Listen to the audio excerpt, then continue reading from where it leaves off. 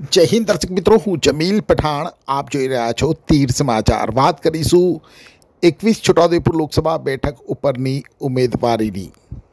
જી હા, છોટાઉદેપુર લોકસભા બેઠક માટે ભાજપ, કોંગ્રેસ બાદ હવે અન્ય પાર્ટીઓના અને અપક્ષ ઉમેદવારો પોતાનું નામાંકન કરાવી રહ્યા છે. આજે નોંધાયેલ ઉમેદવારીમાં આ વખતે પહેલી વખત ભારતીય આદિવાસી પાર્ટી એટલે કે બાપ પાર્ટીએ પોતાના ઉમેદવારને મેદાનમાં ઉતાર્યો છે. ભારતીય આદિવાસી પાર્ટી દ્વારા જામસિંગભાઈ રાઠવાને ચૂંટણી મેદાનમાં ઉતાર્યા છે. જામસિંગભાઈ રાઠવાએ આજે પોતાના સમર્થકો સાથે કલેક્ટર કચેરીએ પહોંચી અને ચૂંટણી અધિકારીને પોતાનું ઉમેદવારી પત્ર રજૂ કર્યું હતું. ઉમેદવારી નોંધાવી બહાર આવેલ ભારતીય આદિવાસી પાર્ટીના ઉમેદવાર જામસિંગ રાઠવાએ મીડિયા સાથે વાત કરતાં જણાવ્યું હતું કે આદિવાસી સમાજના હિતો માટે તેઓ ચૂંટણી મેદાનમાં ઉતર્યા છે. ભાજપ કોંગ્રેસ ઉપર પ્રહાર કરતાં તેમણે જણાવ્યું હતું કે છોટાઉદેપુર એ આદિવાસી માટે અનામત બેઠક છે અને તેમાં પણ રાઠવા જાતિનું પ્રમાણ વધુ છે અને છેલ્લા કેટલાય વર્ષોથી, દિવસો નહીં, વર્ષોથી છોટાઉદેપુર પંથકના રાઠવા જાતિના શિક્ષિત યુવાઓ રાઠવા જાતિના પ્રમાણપત્રોના વિવાદનો સામનો કરી રહ્યા છે. અને આ મામલે વર્ષોથી આદિવાસી સમાજના યુવાઓ સાથે સામાજિક આગેવાનો લડત ચલાવી રહ્યા છે. રાજકીય નેતાઓ પણ આ લડતમાં જોડાયા, પરંતુ રાઠવા જાતિના પ્રમાણપત્રોનો કોઈ ઠોસ નિકાલ હજુ સુધી નથી લાવી શક્યા. આદિવાસીઓના હકના નાણાં નકલી કચેરીઓ મારફત બારોબાર ચવાઈ જાય છે. આદિવાસીઓના વિકાસના નામે મોટા પાયે ભ્રષ્ટાચાર થાય છે. રોજગાર, શિક્ષણ અને આરોગ્ય રોડ, રસ્તા, સિંચાઈ અને પીવાના પાણીની પૂરતી સેવાઓ નથી મળતી. અને એટલે જ હવે આદિવાસીઓને તેમના હક અપાવવા. ભારતીય આદિવાસી પાર્ટીના નેજા હેઠળ સામાજિક આગેવાન જામસિંહભાઈ રાઠવા લોકસભાની ચૂંટણીના જંગમાં ઉતર્યા છે.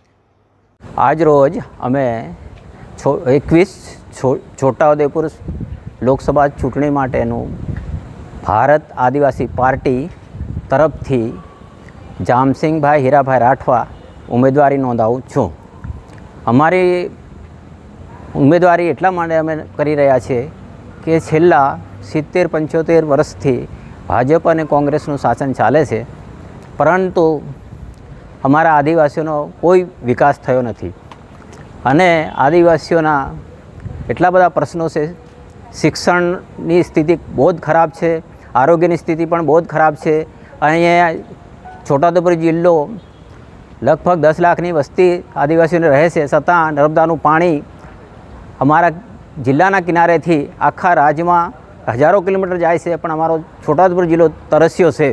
અને પીવાનું પાણી નહીં મળતું કે સિંચાઈનું પાણી નહીં મળતું, એના લીધે એટલા બધા બીજા પ્રશ્નો પેદા થયા છે કે અહીંથી મજૂરી માટે સૌરાષ્ટ્ર કચ્છમાં અહીંના લોકો, આદિવાસી લોકો જઈ રહ્યા છે. ત્યાં પણ એમનું શોષણ થઈ રહ્યું છે. આ બધી પરિસ્થિતિમાં અને અહીંયા જે ગ્રાન્ટો આવે છે આદિવાસીઓના નામની, તે નકલી કચેરીઓ દ્વારા એને હડપ કરી દેવામાં આવે છે અને એના કામો થતા નથી અને પચાસ પચાસ કરોડ રૂપિયા આદિવાસીઓના ક્યાં ખવાઈ જાય છે એના માટે કોઈ પક્ષ બોલવા તૈયાર નથી. એટલા માટે અમે આદિવાસી પાર્ટીને છોટાઉદેપુર જિલ્લામાં લાવી રહ્યા છે અને ભવિષ્યમાં અમે આનો, અમારા હક્કો અને અધિકારો માટે અમે સંઘર્ષ કરવાના છે અને આ પાર્ટીનું અસ્તિત્વ અહીંયા થશે એની અમને ખાતરી છે. અને નવા યુવાનોને યુવાનોને બેરોજગારી અત્યારે છે ભણી ગણીને કરે શું? આવી સ્થિતિ થઈ ગઈ છે. તો આ બધા જ પ્રશ્નોના નિકાલ માટે આદિવાસી પાર્ટી એના માટે અવાજ ઉઠાવશે. અહીંયા છોટાઉદેપુર જિલ્લામાં રાઠવા જાતિ માટેનો પ્રશ્ન થઈ રહ્યો છે. તો આ બધા પ્રશ્નોને અમે ઉઠાવવાના છે અને ભવિષ્યમાં મારું સંગઠન વધુ મજબૂત થશે એવી આશા છીએ ઇલેક્ટ્રિક અને ઇલેક્ટ્રોનિક આઇટમનો ખજાનો અને તે પણ છોટાઉદેપુરમાં. જી હા, fridge, washing machine, LED TV, microwave oven, geyser, RO અનેક વેરાયટીમાં કુકિંગ વેર, ગેસની સગડીઓ, આકર્ષિત ડિઝાઇનમાં પંખા, કોઈ પણ કંપનીના એસી અને ગજબના sound system, air cooler ice cream માટે ડીપ ફ્રીઝ, ઠંડા પીણા માટે બોટલ કુલર અને તે પણ એકદમ કિફાયતી ભાવમાં. ઝીરો ટકા લોનની સગવડ પણ ઉપલબ્ધ છે અને હા, જો તમે તીર સમાચારના સબસ્ક્રાઇબર છો તો તમને મળશે આકર્ષક ગિફ્ટ તો આજે જ અમારા શોરૂમની મુલાકાત લો. અમારું સરનામું છે global enterprise jail road Chhotaudepur. Chhotaudepur સહિત રાજ્ય, દેશ અને દુનિયાના સમાચાર જોવા માટે સબસ્ક્રાઇબ કરો તીર સમાચાર અને બેલ આઇકોન જરૂર દબાવો.